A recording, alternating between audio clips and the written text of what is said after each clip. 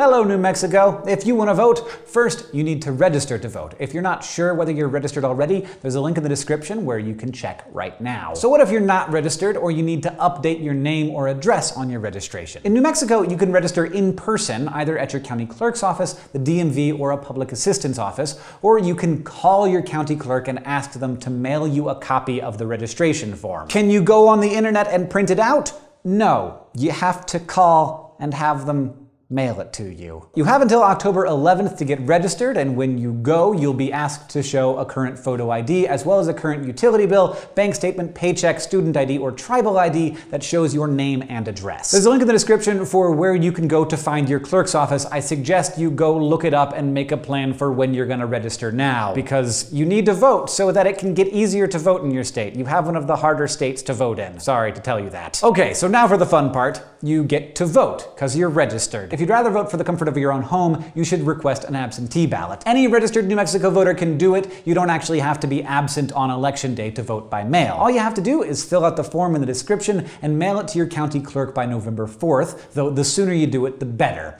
Then you just wait for your ballot to show up in the mail, fill it out at your own pace, and send it back or drop it off at your clerk's office by November 8th. You can also vote early in person at your county clerk's office between October 11th and November 5th. There's a link in the description where you can find early voting hours and locations near you if you want to skip the election day lines. If you want to vote in person on November 8th, though, you can look up where you need to go to vote using the link below. Polls are open from 7 a.m. to 7 p.m., and you won't need to bring an ID with you as long as you provided one when you registered. You should, however, think about bringing a sample ballot. You can find yours using the link in the description, and it'll tell you everything you'll be able to vote for. You don't have to vote for every single item on the ballot, you can leave things blank if you want to, but your local elections can be very important, so it's worth checking out what's on there ahead of time. You can even print out a sample ballot and bring it to the polls with you so you won't forget how you wanted to vote. All the links you need to check your registration, vote early, and find your polling location are in the description. Thank you for voting.